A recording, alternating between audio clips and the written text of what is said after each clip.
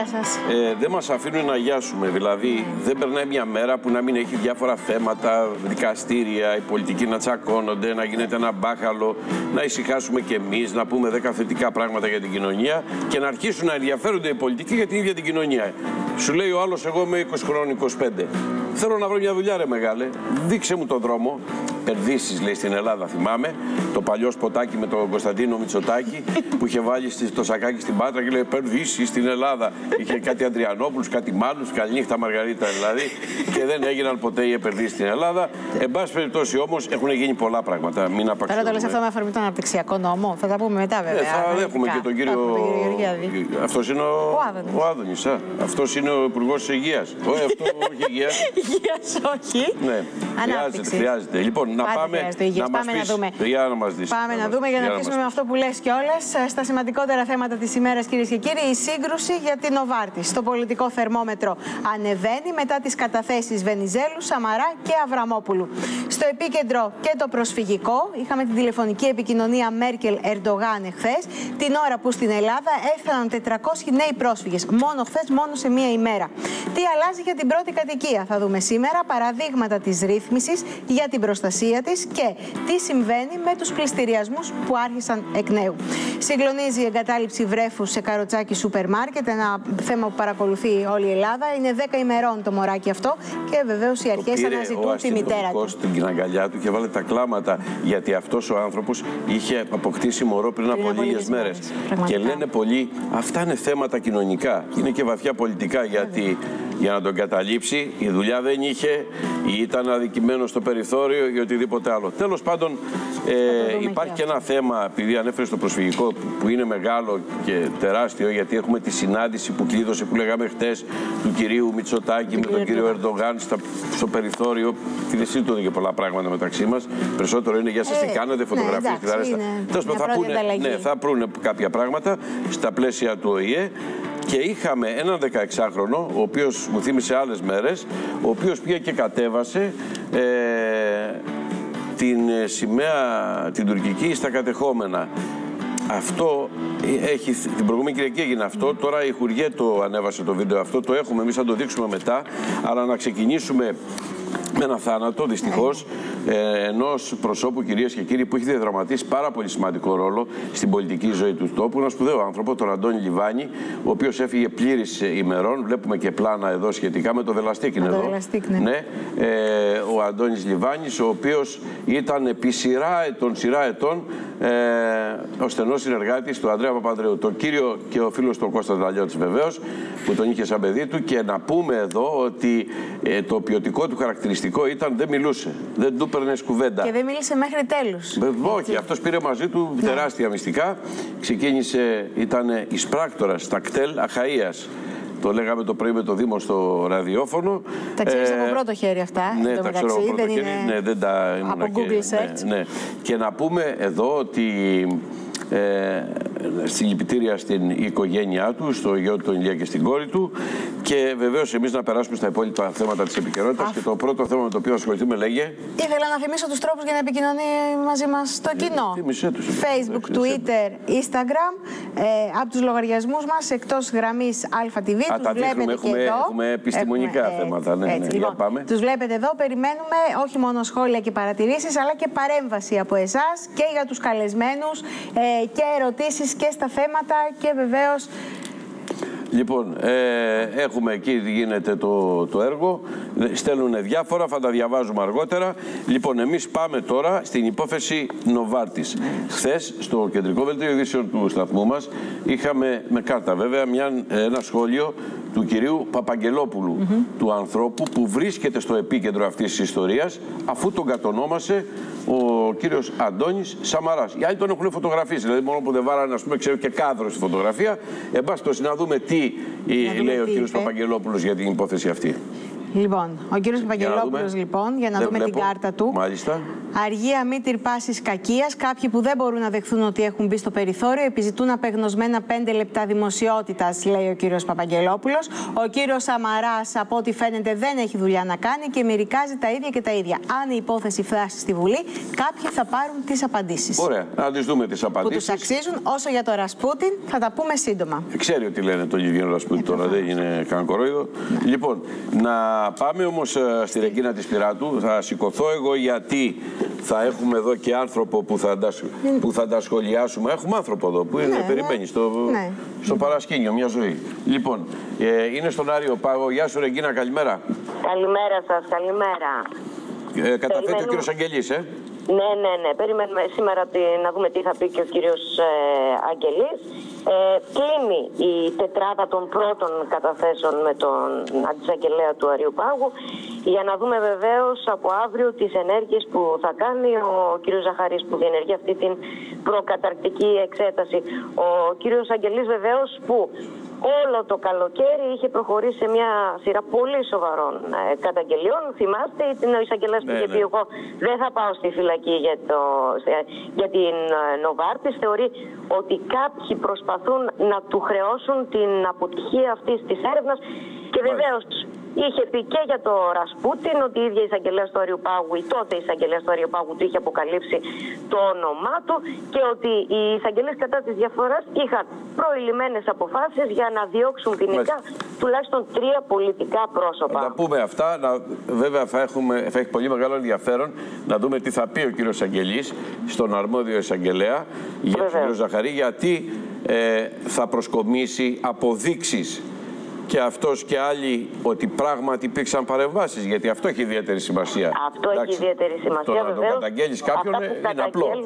Αυτά που καταγγέλουμε να συνοδεύονται, να συνοδεύονται με αποδεικτικά στοιχεία. Υλικό. Διότι. Βεβαίως, ναι, πες μου. Βεβαίως ε, είναι μονόδρομος η αποστολή και αυτού του σκέλους της ε, δικογραφίας στη Βουλή. Έτσι.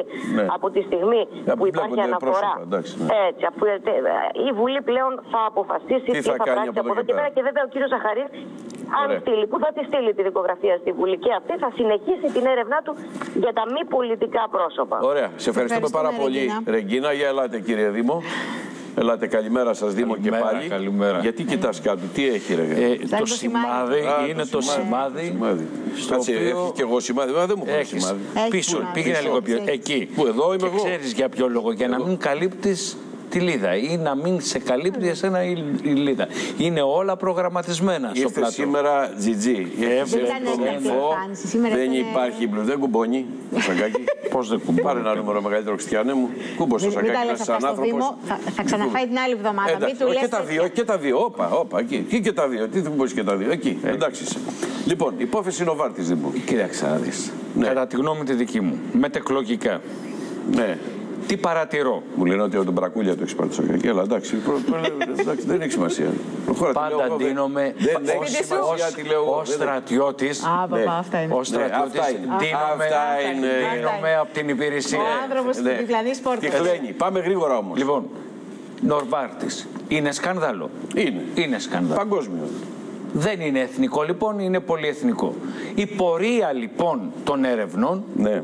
Πρέπει να έχουμε κατά νου ότι καθορίζεται από τα αποτελέσματα της έρευνας που γίνεται διεθνώς αρχικά και με βάση τα στοιχεία που έρχονται μέσα από την παγκόσμια έρευνα Κυρίως το FBI κάνουν, το FBI ναι. το λες εσύ δεν το λέω εγώ όντως το FBI δεν το λες εσύ το FBI προχω... ναι. Το, ναι, προχωρά και η, το ελληνικό μέρος της έρευνας. Και αξιοποιεί τα στοιχεία αυτά η ελληνική Ακριβώς. δικαιοσύνη για να βρει την Ακριβώς. άκρη. Και βλέπουμε λοιπόν ότι ο βηματισμός της ελληνικής δικαιοσύνης είναι συστοιχισμένος με το πώς προχωράει η έρευνα διεθνώς. Ναι, Ένα το περίμενε, περίμενε. Δεν εμπλέκονται πολιτικά δεν, δεν πρόσωπα. Αυτό, αυτό. Προσέξτε τώρα. Τι προσέξτε τώρα. Δεν έχω τι, κρατάω, τι κρατάω εγώ ως ο λίγων πονηρούλη. Συγγνώμη γιατί μου μιλάει και ο Ηλίας. Ναι, ναι. Ότι μετεκλογικά ναι.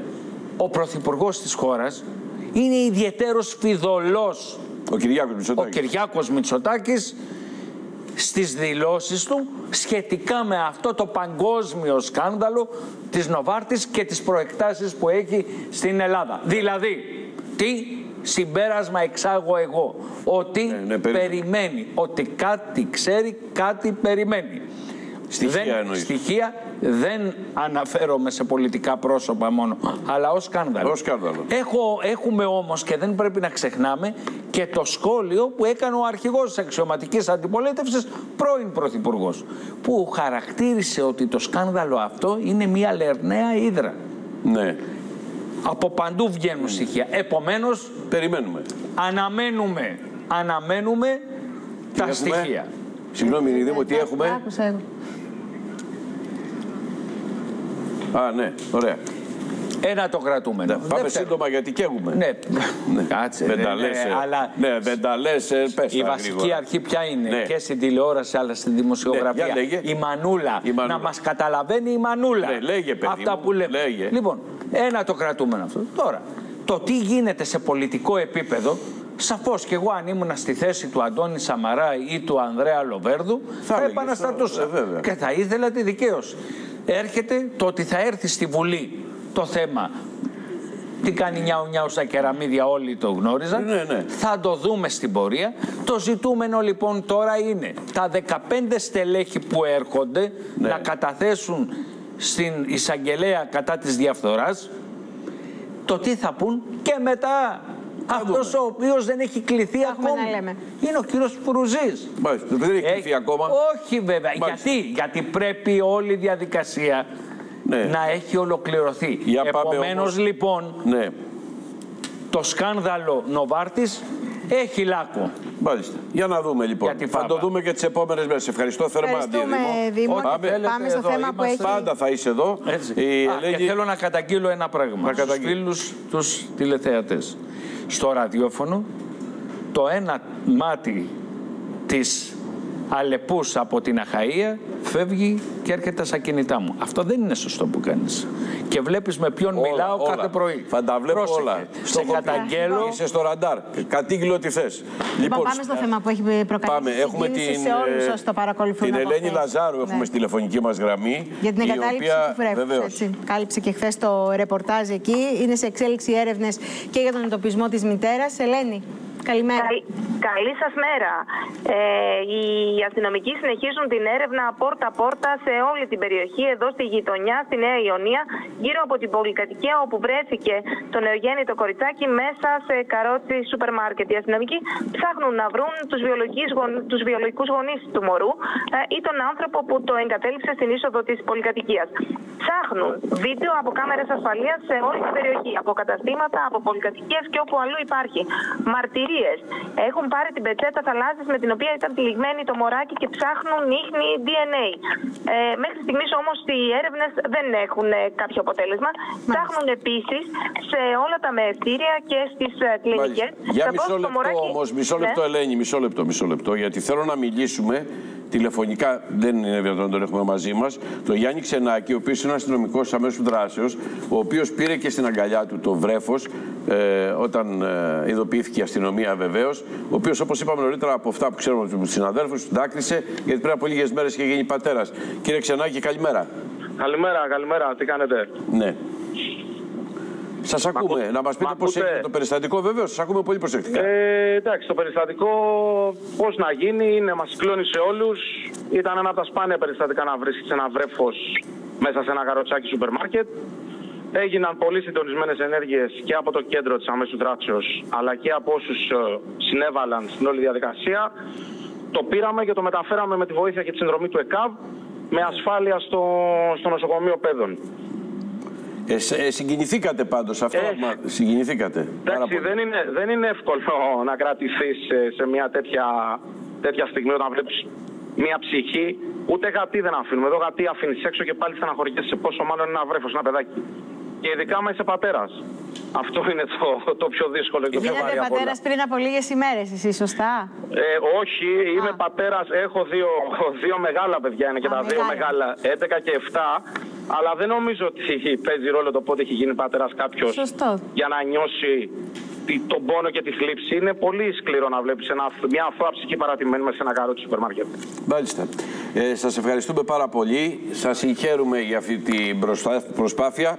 Να ακούσουμε όμως και τον Παναγιώτη Μαδούρο, ο οποίος είναι ο φοιτητής, ο οποίος βρήκε το βρέφος.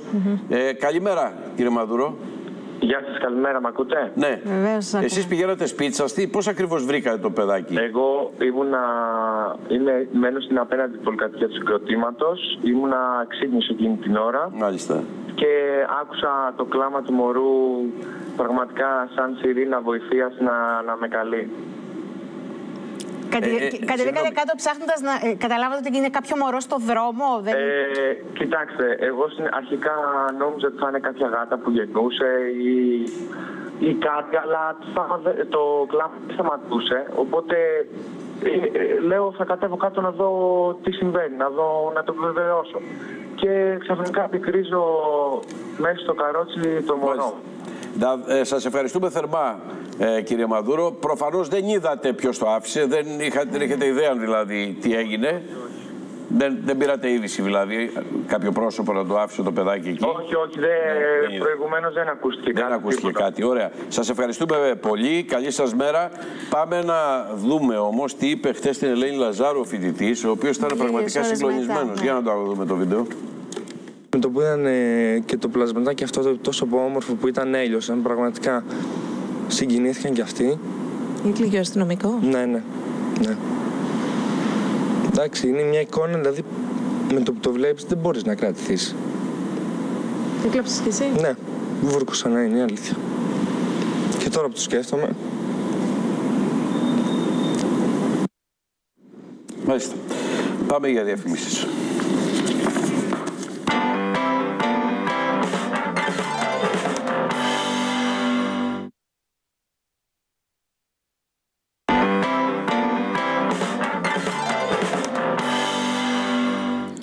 Λοιπόν, επιστρέψαμε. Να θυμίσουμε για μια ακόμη φορά τους τρόπους επικοινωνίας μαζί σας. Βλέπετε εδώ σε Twitter, Facebook, Instagram. Ε, στείλτε και ερωτήσεις. Άδωνης Γεωργιάδης, Όλγα Γεροβασίλη θα είναι μετά εδώ. Θα έχουμε θέμα για την πρώτη κατοικία και την προστασία της. Απορίες, εδώ είμαστε για να τις ε, λύσουμε και στην συνέχεια και για να μεταφέρουμε βεβαίως τα ερωτήματά σας. Πάμε τώρα στο μεγάλο θέμα, στο προσφυγικό. Που όπως προκύπτει και από τη δημοσκόπηση του Α και της μέτρων ανάλυσης Τάκη, είναι ένα από τα θέματα που απασχολούν και πάρα πολύ ε, τον κόσμο μετά την οικονομία και την ναι, ανεργία. Αλλά εμείς θα επικοινωνήσουμε τώρα με την Θεσσαλονίκη. Με τη Σούζη Καζατζίδου. Με τη Σούζη Καζατζίδου. Είχαμε ένα τροχαίο με μετανάστες. Σούζη, καλημέρα και είναι μία από τις διαστάσεις του θέματος που θα συζητήσετε. Αυτή η φοβερή πονεμένη ιστορία για αυτούς τους ανθρώπους οι οποίοι βρίσκουν τρόπο να περάσουν τα σύνορα, να περάσουν τον Εύρο, να φτάσουν στη χώρα μας, εκεί όπου τους περιμένουν και πληρώνουν αδρά γι' αυτό οι λαθροδιακινητές και τους υπόσχονται ότι με ασφάλεια θα τους μετακινήσουν στην ανδοχώρα. Τι έγινε λοιπόν χθες, ακόμη ένα περιστατικό. Σε ένα μικρό βανάκι είχαν επιβιβαστεί εννέα άτομα μαζί με τον οδηγό λαθροδιακινητή. Ήταν σταθμευμένος σε ένα σημείο της Εγνατίας Οδού ανάμεσα στους δύο κόμβους ε, της ε, ε, Κομωτινής που μπαίνουν και βγαίνουν από την Κομωτινή και ένα αυτοκίνητο. Ο, ο οδηγός προφανώς που το οδηγούσε ήταν νύχτα, δεν είδε το βανάκι, πήγε και έπεσε πάνω τους. Αποτέλεσμα Ευτυχώς αποφεύχθηκε η τραγωδία. Είχαμε 8 τραυματισμούς μαζί με τον οδηγό του ΙΟΤΑΧΗ και βεβαίως, όπως συνήθως γίνεται σε αυτές τις περιπτώσεις, ο οδηγός λαθροδιακινητής κατάφερε και την κοπάνισε. Λοιπόν, ε, πρέπει, να πούμε, πρέπει να πούμε για το ρεπορτάζ. Ευχαριστούμε πάρα πολύ ε, για το ρεπορτάζ. Σε εξέλιξη βρίσκεται τώρα πυρκαγιά σε καμινάδα καταστήματος εστίασης στην Ορδό Χαλδοκορδίλη 40 στο κέντρο της Αθήνας. Επί τόπου επιχειρούν 12 πυροσβέστες με 4 ε, πυροσβεστικά οχήματα. Θα τα λέμε ναι. Ε, ότι τρέχει στην επικαιρότητα. Ξέρετε, θα το βγάζουμε κατευθείαν χωρίς χρονοτριβή. Ε, Έχεις κάτι με γκαζάκια; Όχι, δεν έχω με γκαζάκια. Τώρα έχω Σοφία Κωστίδη για να μην δεν έχουμε τα γκαζάκια να δείξουμε στην Πεύκη στα γραφεία της Νέας Δημοκρατίας; Δεν τα έχουμε. Θα τα, σε λίγο. θα τα πάμε θα αργότερα, θα τα δείξουμε να, να, να θρέψουν και λοιπόν, θα τα λοιπόν, δείξουμε. Πάμε στη Σοφία την Κωστίδη, διότι χθες. Όχι, περίμενε, περίμενε. Πριν το χθες και πριν τη συναντήσεις, καλημέρα κυρία Σοφία. Ε, έχουμε ένα βίντεο να δείξουμε ναι. το οποίο ανέβασε η Χουριέ, τη ηλεκτρονική της έκδοση, αν δεν κάνω λάθος, όχι δεν, κάνω λάθος. Ένας Έλληνας, 16χρονο, ε, να το το βίντεο, κατεβάζει την τουρκική σημαία στα κατεχόμενα. Την παίρνει και φεύγει. Και αυτό είναι ένα ζήτημα σοβαρό υπό ποια έννοια. Υπό την έννοια ότι έχουμε σε λίγες ε, μέρες την συνάντηση που έχει κλειδώσει μεταξύ του κυρίου Ερντογάν και του κυρίου Μητσοτάκη. Δεν ξέρω αν αυτό το περιστατικό είναι προβοκάτσια, δεν είναι. είναι γιατί 8 Ενάτου είναι η ημερομηνία, το βλέπουμε στο ναι, βίντεο. Είναι, είναι την Κυριακή, Κυριακή που μας πέρασε. Ναι, την Κυριακή που μας πέρασε. Σήμερα η Χουριέτ δείχνει αυτό για να δείξει προφανώς Κάτι θέλει να δείξει Κάτι η τουρκική ναι. εφημερίδα. Η Χουριέτ Σοφία τι εφημερίδα είναι, είναι φιλοκυβερνητική; Είναι φιλοκυβερνητική εφημερίδα, όπω το... και το CNN Turk, το οποίο είναι του ίδιου ομίλου. Του, α, του Ερντογάν. Ε, και του Ντογάν. Όχι, και το ίδιο ναι. το Και το Ερντογάν. Ναι, είναι του Ερντογάν βασικά. Ναι, εντάξει, ναι. μπορούμε βέβαια, είναι το CNN Turk, είναι αξιόπιστες πηγές, αλλά πολλές φορές δεν πρέπει να πούμε ότι. Δεν αμφισβητώ το αξιόπιστο του πράγματος. Απλά πολλές φορές υπάρχουν βίντεο το οποίο πρέπει να ελεγχθούν. Δεν ξέρουμε αν είναι Ελληνοκύπριος, επιβεβαιωμένο. Έτσι λέει, πρέπει να... σου λέω Ακριβώς. Είναι μια κάμερα. Και γι' αυτό είπα, είναι, είναι προβοκάτσια, δεν είναι προβοκάτσια. Εμείς το δείχνουμε με πάσα επιφύλαξη. Τη βλέπουμε. Τη βλέπουμε ναι. γιατί μου θυμίζει άλλες εποχές ε, αυτό. Και δίνουν και, και ηλικία νεαρού, το οποίο υποτίθεται ότι δεν ξέρουν ποιος είναι, αλλά λένε ότι είναι 16χρονο.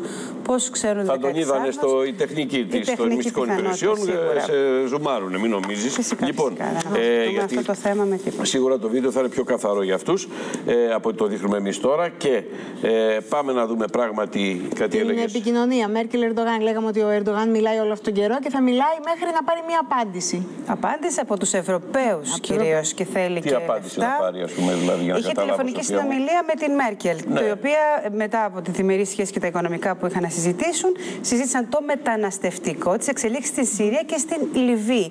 Όπου και από εκεί δέχονται μεγάλο κύμα μεταναστών. Στη Λιβύη έχει συμφέροντα ο Ερντογάν.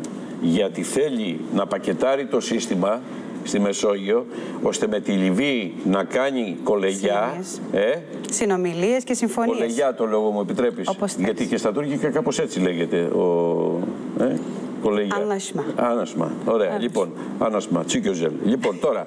ε, θέλει να κάνει για να, το θέμα των ΑΟΣ. Ε, αυτό είναι το ναι. θέμα του με Όπως έχουν κάνει άλλοι διμερείς συμφωνίε. Ακριβώς θέλει να κάνει και αυτός. Να πούμε γιατί εμείς έχουμε με Αίγυπτο, Ισραήλ κτλ. Αυτός θέλει να κάνει. Άρα, άρα, άρα ε, θέτει και το θέμα της ε, Λιβύης. Ε, για να δούμε τώρα τι άλλο ζητάει ο Τούρκος Πρόεδρος. Ε, μπορούμε να έχουμε μια εικόνα από αυτό, γιατί ο εκπρόσωπος τύπου του Τούρκου Προέδρου έκανε δηλώσεις, μεταξύ άλλων είπε ότι οι άλλες χώρες πρέπει να καταλάβουν ότι το μεταναστευτικό δεν είναι θέμα που αφορά μόνο την Τουρκία και πρέπει να δουν το θέμα και πολιτικά και ανθρωπιστικά, αλλά και σε οικονομικό επίπεδο. Το οικονομικό επίπεδο, να το καταλάβω.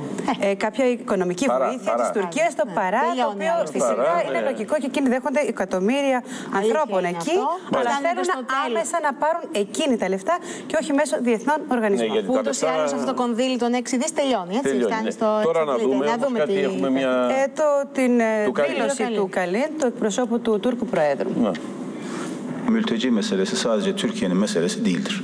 Uluslararası toplum İdlib kaynaklı yeni bir göç dalgasının önlenmesini istiyorsa yine hem siyasi hem insani hem finansal alanlarda üzerine düşen sorumlulukları mutlaka yerine getirmek e, durumundadır. Lipon Ε, ακούσαμε τον Γκαλίν, τον εκπρόσωπο της Προεδρίας, Τουρκικής Προεδρίας. Όμως είχαμε και μία έκρηξη, για πες μας γι' αυτό, στα, στα κατεχόμενα. Ε. Σημειώθηκαν ισχυρές εκρήξεις σε αποθήκες πυρομαχικών σε στρατιωτική ζώνη στα κατεχόμενα, στο Άγιο Επίκτητο, ανατολικά της Κερίνιας. Θα δούμε και τα πλάνα, οι οποίες είναι πραγματικά οι εκρήξεις πάρα πολύ δυνατές. Πυκνός καπνός κάλυψε όλη την περιοχή. Εκεί κοντά υπάρχουν και ξενοδοχειακές μονάδες. Κάποιοι τραυματίστηκαν ελαφρά καθώς έσπασαν πολλά τζάμια των γύρω κτηρίων. Σύμφωνα με τα τουρκικά μέσα, στις αποθήκες υπήρχε στρατιωτικό υλικό, ε, βλήματο βίδας αρμάτων μάχης. Ε, από τις εκρήξεις εκτοξεύτηκαν θραύσματα σε απόσταση πολλών χιλιόμετρων. Ε, θα δούμε και από, από, το ξενοδοχείο εκεί κοντά, όπου υπήρξαν άνθρωποι που βγήκαν, οι τουρίστες, που είναι εκεί περίπου 2.000 τουρίστες που βγήκαν έξω, τους μετέφεραν σε ασφαλέστερες περιοχές. Οι υπεύθυνοι εκένωσαν την περιοχή και το χωριό Κλεπίνη, όπου είναι εκεί κοντά. Την προκάλεσε τις εκρήξεις, γνωρίζουμε. Οι εκρήξεις, από ό,τι λένε, προκλήθηκε πρώτα μια μεγάλη πυρκαγιά. Δεν μπόρεσαν να τη θέσουν υπό έλεγχο και έφτασε στις αποθήκες πυρομαχικών της στρατιωτικής ζώνης και επεκτάθηκε πάρα πολύ γρήγορα. Οι αρχές λένε ότι θα ψάξουν τα αίτια και πήγε στο, στο σημείο και ο τουρκοκύπριος ηγέτης ο Ακιντζή, ο οποίος λέει δεν έχει γίνει γνωστά ακόμα τα αίτια της. Σοφία, μου σε ευχαριστούμε πάρα πολύ. Εμείς θα περάσουμε στα οικονομικά θέματα, να δούμε τι γίνεται γιατί σας ενδιαφέρουν πάρα πολύ μικρούς και μεγάλους αυτά. Δεν αφορούν μόνο τους uh, μικρούς, τους μεγάλους, αφορούν και τους μικρούς. Ε, διότι ο Μονεβασιώτης. Καλημέρα, καλημέρα είναι σε όλους. και στη νέα γενιά. Ειδικός και στη νέα γενιά. Τι περιμένει τα παιδιά δηλαδή. Καταρχάς η νέα γενιά. Ε, Ποιος θα το έχει το σπίτι, εγώ; το έχει το σπίτι. Για ποιο το παίρνουμε; Ή στη νέα γενιά θα επενδύσεις για να δημιουργήσεις σπίτι για τον εαυτό σου και να σε φιλοξενήσεις και εσένα. Για να δούμε τώρα. Ε, Προστασία πρώτης κατοικίας είναι ο τίτλος. Και γιατί είναι τίτλος και γιατί είναι θέμα σήμερα. Ναι. Γιατί σιγά σιγά και από την ερχόμενη εβδομάδα πιο έντονα αρχίζει να τρέχει πιο εύκολα η πλατφόρμα για την προστασία πρώτης κατοικίας. Τι σημαίνει πιο εύκολα; Ναι. Χάλαγε, είχε θέμα και βάλαμε λάδι και πάει πιο γρήγορα; Όχι. Θα χρειάζονται λιγότερα έγγραφα να βάλουμε εμείς οι δικαιούχοι ή όποιος κόκκινος δανειολήπτης να, να τρέχει στα υποθηκοφυλακία δεξιά και αριστερά ναι, ναι. προκειμένου να σώσει την πρώτη κατοικία του. Θέλω να σας δείξω μερικούς αριθμούς. Περίμενε. Καταρχάς, αυτή τη στιγμή από αυτές τις αιτήσεις έχει εγκριθεί τίποτα; Έχουν εγκριθεί. Δες. Πόσες; Ναι. Δες το και άκου. Έγινε, ξεκίνησαν να φτιάχνουν αιτήσεις λίγο περισσότερο από 20.000 άνθρωποι. 20.421. Δηλαδή αυτοί έκαναν κλικ μέσα. Ξεκι... Όχι, ξεκίνησαν να φτιάχνουν κλειπανό, ξεκίνησε η διαδικασία υποβολής αιτήσεων. Δεν έχεις τελειώσει. Γιατί έχεις πάει, έχεις βάλει το ένα χαρτί, έχεις βάλει την φορολογική ναι, σου δήλωση, ναι. δεν τα έχεις συμπληρώσει ακόμα. Δες πόσοι ολοκλήρωσαν τη διαδικασία από αυτούς τους 20.000 μέχρι τώρα που μιλάμε. 39. Γιατί 39 Σταύρο αφού είναι 20.000. 500 χαρτιά, αντεβρέστα. Έτσι μπράβο. Ε, ναι, και από τους 39... Θέλει φιλοσοφία; Και από τους 39 δες πόσοι φτάσανε στο τελευταίο Τρεις. σκαλοπάτι. Τρεις. Ναι, και στο τι σημαίνει; σκαλοπάτι, γιατί άκου, άκου τι μου έλεγε χθες. Τι, σημαίνει τώρα, τι, έχει... τι σημαίνει τώρα τελευταίο σκαλοπάτι; Σημαίνει ότι εγώ έβαλα τα χαρτιά μέσα στο σύστημα. Τα άστυλα. Κλίτ, ναι. πήγε στην τράπεζα. Ναι. Η τράπεζα τα άνοιξε μπροστά μου στην οθόνη και βλέπει. Τάκης Χατζίζο φτιάχνει μια πρόταση και τη στέλνει. Ναι. Είμαστε στο σημείο όπου οι τράπεζες έχουν στείλει τρεις προτάσεις μέχρι στιγμής στους 39 που έχουν στείλει το τελικό χαρτί. Οι τρεις δεν έχουν απαντήσει όμως. Ακόμη δεν έχουν απαντήσει οι τρεις αν το αποδέχονται ή αν δεν το αποδέχονται. Α, δηλαδή έστειλε η τράπεζα τώρα την απα... Ε, ότι εγώ κοίταξε προτείνω να το κάνουμε έτσι για να πάρω τα φράγκα γιατί η τράπεζα πήρε τον φράγκο. Και να σε διευκολύνω αλλά και εγώ να τα τσεπώσω. Ε, έτσι, ε, δανεικά ήταν. Όταν σου δανείζει κάποιος πρέπει να τα επιστρέψεις. Ναι, λοιπόν, και προσέξτε κάτι. Δεν είναι κακή η όρη. Θα σας δείξω και ένα παράδειγμα σε λίγο, ναι. αλλά ακούστε πριν σας δείξω το παράδειγμα. Καλά, η όρη μπορεί να μην είναι κακή. Το θέμα πώς μπορώ εγώ να το κάνω. Θα σου δείξω κάτι που θα πει αν μπορεί. Έχει μια σημασία. Και αν η τράπεζα έχει την ευελιξία, περίμενε. Να καταλάβει την οικονομική κατάσταση του καθενός που ναι. κάνει αυτή τη δουλειά. Ναι. Ε; Δεν λέω, δεν νομίζω. Ε, εντάξει, τότε. Προσέξτε τώρα να δείτε κάτι; Τότε. Ακούστε τώρα να δείτε κάτι. Ότι κουβεντιάζουμε. Δίνει, 25 χρόνια επιμήκυνση. Μειωμένο επιτόκιο και επιδότηση στη δόση. Πάμε να δούμε τι είναι όλα αυτά που σας λέω. Ναι. Το παράδειγμα που σας δείχνω δεν είναι φανταστικό. Είναι η μία από τις τρεις περιπτώσεις που, έχει ολοκληρωθεί. Ναι, ναι, ναι. Μιλάμε για έναν κόκκινο δανειολήπτη ο οποίος είχε αναφέσει 100.000 ευρώ. Σε αυτόν η τράπεζα λέει θα μου το αποπληρώσεις σε 25 χρόνια. Μάλιστα. Συμφωνεί, συμφωνεί. Η πρόταση που του κάνει δηλαδή. Που του κάνει. Το επιτόκιο όσο το τελικό 3%. θα είναι 3%. Ναι. Πρόσεξε τώρα να δεις κάτι. Η δόση που βγαίνει εδώ είναι 474 ευρώ. Το μήνα. Ναι. Έρχεται λοιπόν το κράτος και λέει: Κοίταξε να δεις. Επειδή η οικονομική σου κατάσταση δεν σου το επιτρέπει, θα σου επιδοτήσω το 40% της δόσης για να μπορέσεις να είσαι συνεπής. Ναι. Τι τα 200 ευρώ, ας πούμε. Α, θα σου δείξω τώρα. Α. Από την τσέπη του λοιπόν αυτός ο κόκκινος δανειολήπτης θα πληρώσει 284 ευρώ το μήνα. Και 40 και 40. Όχι, να τα λέμε και τα 40. Τα λέμε και τα 40 γιατί καμιά φορά μπορεί να σε βγάλει ναι, κόκκινη τη δόση. Ξέρω τι σου λέω. Και, την, και το, από την πλευρά του το κράτος θα πληρώσει τα υπόλοιπα 189 ευρώ και 60. Πρόσεξε. Πόσα χρόνια είπαμε ότι είναι αποπληρωμή. 25 χρόνια θα υπάρχει επιδότηση του κράτους. Μάλιστα. Είτε είναι αυτή η κυβέρνηση, είτε είναι μία άλλη, είτε είναι μία παρατρίτη. Ο δανειολήπτης Α... μπορεί να αντιπροτείνει κάτι άλλο και να ξαναπεριμένει την αντι... στο... αντιπρόταση Μέχρι στιγμής, εδώ νομίζω, όπως δείχνει και το ναι. παράδειγμα, η τράπεζα έφτασε στο καλύτερο δυνατό. Δηλαδή από τα 5 ναι. εκατοστάρικα σου είχε κατεβάσει εδώ στα 280, μπορείς κατά κάποιον ναι. τρόπο να ανταπεξέλθεις. Αλλά σε κάθε. Ε, ε, okay, εντάξει. Ε, αλλά αυτό που είναι σημαντικό είναι ότι η επιδότηση συνεχίζεται μέχρι να τελειώσει το δάνειό σου, με μια προπόθεση όμως, ναι. Ότι και εσύ τα 200 τόσα θα, τα δίνεις. Ναι. Εδώ μας έβαλαν μια. Τώρα, τώρα μεταξύ μας, αυτός που έχει πάρει δάνειο 100.000, εσεί πείτε νομίζω ότι έχει αγοράσει κανένα μεζονέτα. Εγώ εκτιμώ ένα επισκευαστικό θα ήταν ε, αυτό. αυτό ναι. Σας λέω και ένα τελευταίο στοιχείο. Οι πληστηριασμοί χθες, για παράδειγμα, μέχρι το τέλος του χρόνου καταρχάς είναι 6.600 πληστηριασμοί που είναι να γίνουν. Ναι. Μόνο χθες ήταν προγραμματισμένοι και έκανα ένα ρεπορτάζ για να σας δώσω στοιχεία 734. Ναι. Ακούστε. Από, ναι, ηλεκτρονική. Ναι, ναι. Από αυτούς τους 734 ολοκληρώθηκαν 535. Ναι. Δύο μόνο ματαιώθηκαν, γιατί υπήρξε από την πλευρά, από ό,τι έμαθα από το ρεπορτάζ ε, του ενός δικηγόρου ότι θα ναι, τα ναι, καταφέρουμε. Ναι. Και άλλες 197 περιπτώσεις είναι σε αναστολή. Ωραία. Να σε ευχαριστήσουμε πολύ. Να είστε καλά. Ε, Όμως έχει υπάρχει ένα ρεπορτάζ για την αγορά κινήτων. Γιατί με την αγορά κινήτων έχουν γίνει διάφορα. αυτό. Να σε ευχαριστήσω. Να δούμε το ρεπορτάζ. Να δούμε το ρεπορτάζ. Φαίνεται ότι κάτι αλλάζει. Θα κινηθεί όλη η αγορά. Ε, κοιτάμε ένα οροφοδιαμέρισμα στο πρώτο όροφο για πρώτη κατοικία. Τους συναντήσαμε στο Χολαργό να ψάχνουν για το νέο του σπίτι.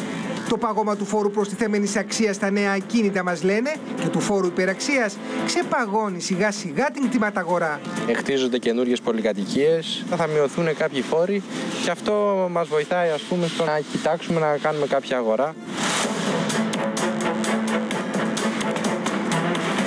Ακούστε τώρα τις τιμές που συναντά ακόμη και σήμερα ένας υποψήφιος αγοραστής κατοικίας στην Ελλάδα που ψάχνει να σταθεί στα πόδια της. Εξαρτάται βέβαια και από την κατασκευή. Ε, είναι γύρω στις 300.000 με 350. Πρώτο όροφ, πρώτος όροφος 110 με 120 τετραγωνικά. Τι σημαίνει τώρα στην πράξη μείωση του φόρου στα νεόδμητα ακίνητα; Μείωση τιμής 9%. Επενδύσεις 145 εκατομμύρια ευρώ ετησίως. Νέες θέσεις εργασίας από 920 στο χειρότερο σενάριο έως 3.650 στην καλύτερη εκδοχή. Και επιπλέον αύξηση του ακαθάριστου εθνικού προϊόντος κατά 265 εκατομμύρια ευρώ. Θα κινηθεί όλη η αγορά, όχι μόνο η οικοδομή, γιατί στην οικοδομή είναι 500 επαγγέλματα, από κουρτίνες μέχρι βίδες. Κερδισμένοι θα βγουν και όσοι μέσα στο 2020 προχωρήσουν στην ενεργειακή ή αισθητική αναβάθμιση του σπιτιού τους. Το 40% της δαπάνης που θα κάνουν εκπίπτει πλέον από το φόρο. Διπλά ωφελημένοι όσοι ενταχθούν και στο πρόγραμμα Εξοικονομώ Κατοίκων, το οποίο αναμένεται να ανοίξει τμήματικά στα μέσα του μήνα. Λοιπόν, για, για τα κίνητα θέλω να πω το εξής ε, πριν πάμε στον κύριο Γεωργιάδη. Θέλω να πω ότι έχουν γίνει διάφορα. Παραδείγματος χάρη η υπόθεση των ε, Airbnb, αυτό ναι. με τις ενοικιάσεις. Με το θέμα αυτό θα ασχοληθούμε γιατί έχουμε πολλά πολλά τηλεφωνήματα, δέχτηκα, για το θέμα αυτό σε διάφορες περιοχές από ξενοδόχους και από εγκεκριμένα από το νεό καταλήμματα. Αλλάζει το Στη Βαρκελόνη τους πετάξαν έξω. Στην Ολλανδία, σε, στο Άμστερνταμ, νομίζω στο Ρότερνταμ, δεν το θυμάμαι, τους πετάξαν έξω. Ορίστε που αλλού. Λένε στο Παρίσι. Στο Παρίσι τους βγάζουν έξω. Γιατί τι δημιουργούν αυτοί. Πάνε και τα νοικιάζουν. Και μετά εδώ ο κόσμος θέλει να νοικιάσει ένα σπίτι, ναι. φτάνει στα ύψη. Δεν τους πετάει η χώρα, τους πετάνε οι πόλεις. Ναι. Οι δήμαρχοι δηλαδή. Κύριε Μπακογιάννη, καλημέρα σας. Κύριε Μπακογιάννη, καλημέρα σας. Γιατί γίνατε δήμαρχος, αλλά δεν βλέπω φως ακόμα και κινητικότητα, κύριε Μπακογιάννη μας. Θα τα πούμε τις επόμενες μέρες. Λοιπόν, να πάμε στον κύριο Γεωργιάδη. Καλημέρα, κύριε καλημέρα. Υπουργέ. Καλημέρα, ευχαριστώ πολύ για την πρόσκληση. Ναι. Συγγνώμη, δεν κατάλαβα όμως. Θέλετε να διώξουμε την Airbnb αυτό, να κατάλαβα. Δεν κατάλαβα. Τώρα, είστε εκπρόσωπος Airbnb εσείς; Τι σας νοιάζει; Τώρα σοβαρά μιλάτε. Μα, τε, συγγνώμη. Μας ενδιαφέρει Πήγε... να υπάρχουν ναι, να φύγουν. των ακινήτων. Ναι, κύριε Γεωργιάδη, στο κέντρο της Αθήνας, στο κέντρο της Αθήνας δημιουργείται πρόβλημα. Πηγαίνετε να νοικιάσετε ένα σπίτι. Δηλαδή πριν από πέντε χρόνια που δεν μπορούσαν να πουλήσουν να νοικιάσουν ένα διαμέρισμα στην Αθήνα τα καλύτερα; Εντάξει, τότε να τα χωρίσουμε όλα. Να τα χωρίσουμε όλα, κύριε Γεωργιάδη. Και να πάμε να μείνουμε στα τρέστα. Παρακαλώ πολύ. παρακαλώ. Παρακαλώ πολύ. Εγώ σας παρακαλώ. πολύ. Μα σας παρακαλώ, κύριε Γεωργιάδη. Εκτός αν θέλετε να μας πείτε να μείνουν όλα τα διαμέρισματα απόλυτα και ξενίκιαστα. Είπα για απόλυτα εγώ. Η Βαρκελόνη είναι ηλίθιοι δηλαδή που το κάνανε, ή στο Ρότερνταμ, ή στο Παρίσι. Η Βαρκελόνη πρώτα έφτασε σε ένα μεγάλο αριθμό. Η Βαρκελόνη πρώτα έφτασε ένα τεράστιο ρυθμό ναι. οικονομικής ανάπτυξης επί 20 ναυτά έτη ναι, ναι, ναι. και μετά να βάζει περιορισμούς. Εμείς είμαστε εκεί που ήταν η Βαρκελόνη το 1985. Ναι, δεν είναι έτσι. Και θα σας πω το εξής. Αλλά μην κοιτάτε που έχει τον Γκάουντι και πάνε τουρίστες. Εγώ θα σας πω το εξής όμως. Υπάρχουν ε, καταλήμματα ξέρετε, ενοικιαζόμενα, που, τα, οι οποίοι άνθρωποι αυτοί έχουν πάρει μια άδεια από τον ΕΟΤ, έτσι. Όταν πάρεις άδεια από τον ΕΟΤ, πληρώνεις φόρους, πληρώνεις εισφορές, έχεις υποχρεώσεις απέναντι στον άνθρωπο που πάει να τον νοικιάσει. Είσαι δηλαδή, τέλος πάντων, μια νόμιμη κατάσταση με συγκεκριμένες υποχρεώσεις. Αυτός που νοικιάζει με την ε, Airbnb όμως δεν έχει τίποτα. Τίποτα. Ή θα βάλετε τάξη και σειρά λοιπόν για να τους κρατήσετε, και θα πείτε θα πληρώνετε φόρο, θα έχετε υποχρεώσεις, θα το, θα το εγκρίνει ο οργανισμός, ο ΕΟΤ. Και εντάξει τότε, να το δεχτούμε. Αλλά έτσι στο χήμα, στο κύμα γίνεται αυτό. Σας ρωτάω, γίνεται; Πρώτον, ρυθμιστικό πλαίσιο για το Airbnb εξετάζεται από την κυβέρνηση και έχει ήδη ανακοινωθεί και ένα πρώτο σχέδιο, αν θυμάστε τον Υπουργό Τουρισμού. Ναι. Θα δούμε πού θα καταλήξει. Ναι. Και δεύτερον, ναι. για να μην χάνουμε χρόνο, ο κόσμο προχωράει. Η Airbnb είναι μια παγκόσμια πλατφόρμα. άμα είναι. Πλέον χρησιμοποιείται σε όλο τον πλανήτη. Και μαφία παγκόσμια να του φέρουμε εδώ να κατασταθούν. Δηλαδή. Να θέλει να είναι η Ελλάδα η εξαίρεση. Καλά. Δεν είναι η Ελλάδα. δεν είπα για την Ελλάδα. Δεν είπα για την Ελλάδα, κύριε. Σας εξήγησα. Η Βαρκελόνη δεν το κάνει η Ισπανία ολόκληρη. Στη Βαρκελόνη το κάνανε γιατί αντιμετωπίσανε πρόβλημα. Η Βαρκελόνη, σας ξαναείπα, ναι, είναι μια πόλη της Ισπανίας με πολύ μεγάλη ανάπτυξη επί 25 συναπτά έτη. Σύμφωνη. Η Ελλάδα είναι μια χώρα, η Αθήνα, με ύφεση την προηγούμενη δεκαετία. Δεν κατάλαβα. Θα δώσουμε, θα δώσουμε εξετάσεις στους ξενοδόχους. Αυτό κάνετε εσείς. Γιατί αυτοί κάνουν την ανάπτυξη απασχολούν προσωπικό. Αυτό κάνετε. Ε, Συγγνώμη κύριε Χατζή, αυτό κάνετε. Τι δεν Εξετάσεις ξενοδόχους δίνετε. Τι είπες, τι; Τι είναι αυτό που λέτε; Τι είπατε; Να μας ακούνε οι ξενοδόχοι. Τι είναι εξετάσεις ξενοδόχους δίνετε; Εγώ. Τι είναι αυτό που λέτε; Δεν λέω Γεωργιάδης, Χατζής λέγω εγώ. Τι είναι αυτό που λέτε; Δεν εξετάσει κανέναν, ναι. Εγώ. Α, μπράβο. Αυτοί απασχολούν προσωπικό, κύριε. Έχουν κόσμο. Και οι πολίτες θα προκόψουν στην Ελλάδα και τα ενοικιαζόμενα δωμάτια θα προκόψουν στην Ελλάδα και όλοι θα προκόψουν στην Ελλάδα. Εντάξει, η να δώσουμε τα ταξί στο αυτό, να δώσουμε τα σπίτια στο Airbnb, μπάχαλο. Η ανάπτυξη ναι. θα είναι για όλους. Ναι. Και η κυβέρνηση ναι, ναι, θα δώσει κίνητρα για να κερδίσουν από την αυτά, επιτυχία της χώρας. Θα τα πούμε τώρα που θα κουβεντιάσουμε για το αναπτυξιακό νομοσχέδιο που φέρατε. Μισό λεπτό, μισό, μισό, μισό. Θα κάνουμε ένα πολύ σύντομο διαφημιστικό διάλειμμα. Θα επανέλθουμε μαζί σας γιατί χτε το βράδυ καταθέσατε το αναπτυξιακό νομοσχέδιο. Και σε αυτό, επειδή εγώ είδα πολύ λίγα πράγματα, δεν πρόλαβα να το διαβάσω, το ομολογώ δηλαδή, όπως τα έλεγε ο κύριος Χρυσοχοίδης, ε, αλλά θα ε, μας πείτε εσείς τα βασικά σημεία, όπως εσείς τα καταλαβαίνετε και θα αφήσουμε να το ε, εξηγήσετε στον κόσμο τι είναι αυτό που κάνετε και τις επόμενες μέρες βέβαια θα το ξανααναλύσουμε και θα βρούμε τρόπο να τα ξαναπούμε. Πάμε. Σύντομο διαφημιστικό διάλειμμα. Ευχαριστώ πολύ για το βήμα. Ορίστε, δεν φεύγετε. Που τι ευχαριστώ πολύ. Δεν, δεν φεύγετε. Περιμένετε δύο λεπτά, λέω. Διάλειμμα, δύο λεπτά. Ευχαριστώ πολύ για το βήμα.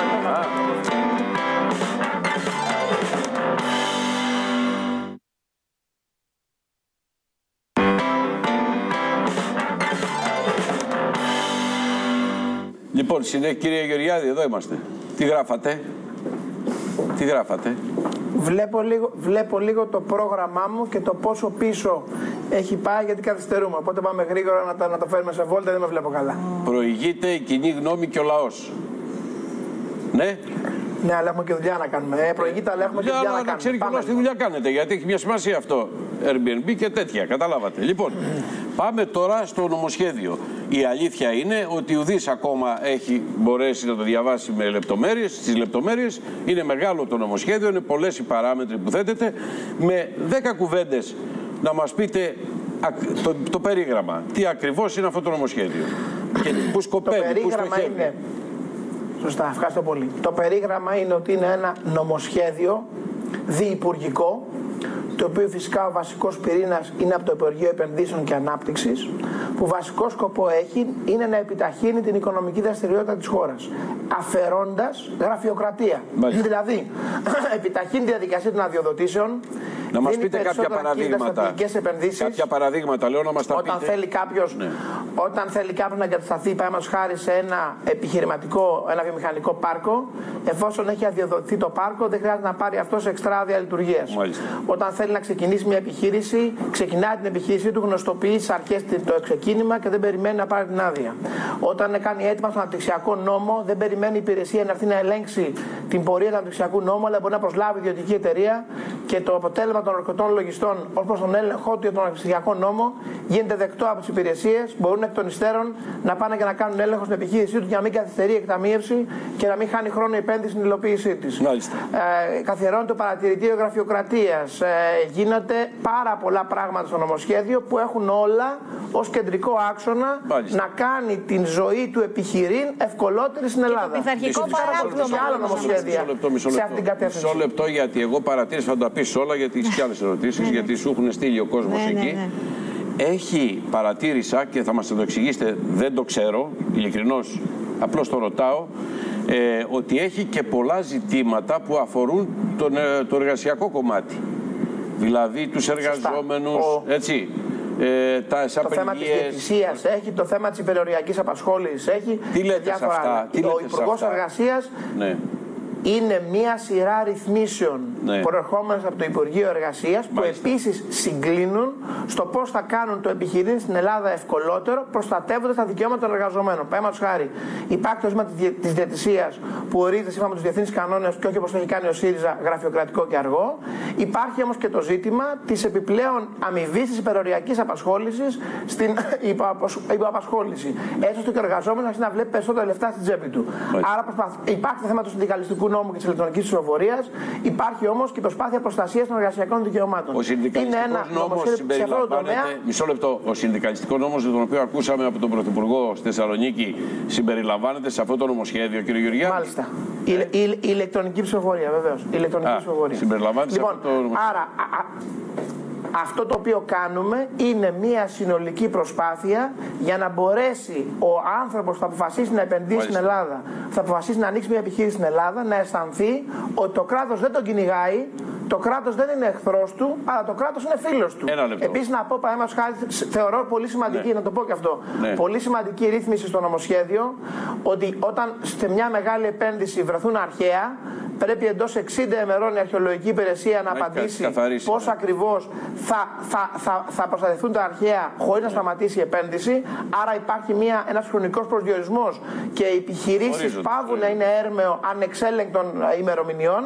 Όπως επίσης υπάρχει και συγκεκριμένη πρόβλεψη ναι, ναι. ότι αν κάποιος δημόσιος υπάλληλος επισκοπό καθυστερεί τη γνωμοδότηση που προβλέπει ο νόμος, δηλαδή υπάρχει ένας νόμος, πάρα πολλοί νόμοι, ιδιαίτερα περιβαλλοντικές άδειες κλπ. Ναι, ναι. που ζητούν γνωμοδότηση από διάφορες υπηρεσίες και ενώ λέει ο νόμος πρέπει να δοθεί γνωμοδότηση σε 30 μέρες, σε 60 μέρες, οι υπάλληλοι το κρατάνε για δύο χρόνια. Ε, σε αυτές τις περιπτώσεις θα υπάρχουν πειθαρχικές ποινές. Από μένα ένα τελευταίο ερώτημα ε, και θα έχει και η Λίδα κάποια ερωτήματα που μας στέλνουν και οι τηλεθεατές. Ε, το ερώτημα είναι το εξής, ότι πόσο χρόνο θα χρειαστεί αυτό το νομοσχέδιο να είναι στη διαβούλευση; Το νομοσχέδιο θα είναι στη διαβούλευση μέχρι την άλλη εβδομάδα, τα μέσα της άλλης εβδομάδα και τότε μετά θα, θα κατευθεί επισήμως στη Βουλή των Ελλήνων και να ξεκινήσει η κανονική διαδικασία. Θερμά να σας δεσμεύσω, εφόσον τελειώσει η διαβούλευση και έρθει στη Βουλή, να έρθετε εδώ που θα ξέρουμε τις λεπτομέρειες να το συζητήσουμε. Γιατί σήμερα μας πιάνετε και λίγο κορόιδο, γιατί δεν τα ξέρουμε. Τι λέει, κατάλαβατε. ναι, τα λέτε εσείς, δεν λέω εγώ, αλλά δεν ξέρω. Το εννοώ. Δεν ξέρω το παρακάτω. Δεν μπορείτε να γίνετε Έτσι, ναι. και δεν μπορεί να πιάσει κανείς κορόιδο. Αυτό, Όχι, αυτό μπορείς να το αναγνωρίσουμε. Λοιπόν, ένα λεπτό. Ε, λοιπόν. Εγώ έχω ένα τελευταίο ερώτημα προσωπικό, αλλά θα σας. Ε, Ωραία, δύο ερωτήματα από μένα. Το ένα είναι γιατί το ρωτούν πολύ αυτό με το πειθαρχικό παράπτωμα που είπατε, κύριε Γεωργιάδη. Αυτό είναι πάρα θα... πολύ απλό. Ναι, ποιος θα το διαπιστώνει, πώς δεν θα βρεθεί κάποιος στη σέντρα, όπως λέμε, χωρίς να είναι δική του ευθύνη; Υπάρχει μια ανησυχία στους δημοσίους. Τι εννοείται χωρίς να είναι δική του ευθύνη; Ορίστε. Υπάρχει, εγώ θα σας πω και πώς προέκυψε η ιδέα αυτού του άρθρου. Για πείτε. Υπήρχε συγκεκριμένη μεγάλη επένδυση που είχε κολλήσει σε τάρια του Υπουργείου Ανάπτυξης, γιατί ένα συγκεκριμένο γραφείο σε ένα συγκεκριμένο Υπουργείο, ενώ όλοι οι άλλοι είχαν βγάλει τις άδειες και τα χαρτιά, ενώ ήταν απαραίτητη του νόμου η έκδοση μιας γνωμοδότησης από μια συγκεκριμένη υπηρεσία, η υπηρεσία αυτή το κρατούσε δύο χρόνια. Με συγχωρείτε κυρία Μπόλα, ένας υπάλληλος δεν μπορεί να κρατάει μία επένδυση για δύο χρόνια. Καλά, Τελεία και παύλα στην Ελλάδα. Εννοείται, εννοείται. Εντάξει. Λοιπόν, δεν πεινάσει όλος ο ελληνικός λαός γιατί κάποιοι δημόσιοι υπάλληλοι έχουν απόψεις κατά των επενδύσεων και θέλουν να τις μπλοκάρουν επειδή έχουν μια παροδική εξουσία. Λοιπόν, ο ελληνικός λαός μας ψήφισε για να κάνουμε αυτή τη χώρα επιχειρηματικά Εντάξει. φιλική. Για να γυρίσουν τα παιδιά μα στο εξωτερικό Εντάξει. και να βρουν δουλειά εδώ. Καλό ναι, όλους τους δημοσίους υπαλλήλους και κυρίως τους την πλειοψηφία τους που είναι εξαιρετικά ευσυνείδητοι να μην φοβούνται από τέτοιε ρυθμίσεις. Okay, εντάξει, το, το, καταλάβω, το καταλάβω. Για προαπαιτούμου υπαλλήλους και να ξέρουν ότι έχουν χρονικές δεσμευτικές μάχες. Έχετε δουλειά να κάνετε. Όπως έχει και ο Πρωθυπουργός, όπως έχετε κι εσείς. Όπως έχουμε όλοι μας. Ναι. Η δεύτερη ερώτηση έχει να κάνει. Η ιδέα ότι θα μπορεί ένας δημόσιος υπάλληλος σε οποιαδήποτε υπηρεσία να ναι. σταματά μια επένδυση σε αυτή τη χώρα. Το καταλάβαμε. Η κυβέρνηση τελειώνει. Λοιπόν, για την Οβάρτης. Για την Οβάρτης. Έχει μια ερώτηση για την Οβάρτης και μετά εγώ μια τελευταία. Ναι, ναι. Έχουμε δει τις καταθέσει. Πέσανε τα ακουστικά, σιγά, σιγά, σιγά. Λοιπόν, λοιπόν έλα. Ένα, ναι, ένα σχόλιο για τις τελευταίες εξελίξεις για την Οβάρτης. Και αν θα δούμε την υπόθεση που όπως φαίνεται θα δούμε τη δικογραφία στη Βουλή. Αν θα γίνει προανακριτική. Αν θα έρθει η δικογραφία στη Βουλή αφορά τη δικαιοσύνη και την αποστολή του φακέλου στη Βουλή. Εγώ τελευταία φορά που με κοίταξα δεν ήμουν εισαγγελέα, αλλά δεν μπορώ να το πω αυτό. Αφού του έρθει ο φάκελος στη Βουλή, Μάλιστα. φαντάζομαι θα ακολουθηθούν οι προβλεπόμενες κοινοβουλευτικές διαδικασίες. Το Υπουργείο Ανάπτυξης και Επενδύσεων σας διαβεβαιώ δεν μπορείτε να έχει ανάμειξη αυτή τη διαδικασία. Μάλιστα. Πάμε τώρα, το λέτε το Υπουργείο, εννοείται ναι. εσείς. Ναι. Καταρχάς, βλέπω πίσω σας ένα πίνακα. Τι, τι είναι ο πίνακας, είναι αφηρημένη τέχνη, τι είναι αυτό; Κάτι είναι πίνακες που είχε βάλει στο γραφείο ο προκάτοχό μου, Ποιος; ο κύριος Δραγασάκης, και τους έχουμε κρατήσει. Είναι από την Εθνική Πινακοθήκη και είναι ωραίοι πίνακες. Α, ωραία, εντάξει, κρατήσατε και κάτι από τους άλλους. Κρατήσατε. Λοιπόν, περίμενε, περίμενε πια ε, συσκέψη; Εδώ έχουμε Ευγενία Μανολίδου. Το πρόσωπο, το άλλο πρόσωπο στη ζωή σας.